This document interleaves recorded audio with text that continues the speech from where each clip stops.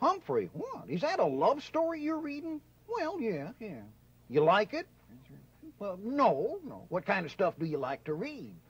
Well, a good adventure story when I can find one. So why don't you go to the library, get yourself a really good adventure book? Like what? Like, well, I don't know. Well, like Treasure Island or, or Robin Hood. How about Moby Dick? Yeah, Moby Dick, huh? Moby Dick, the great white whale, and the mad Captain Ahab, and the tattooed harpooner named Queequeg. Wow, how much do I have to pay? You don't have to pay. Just get a library card, check the book out.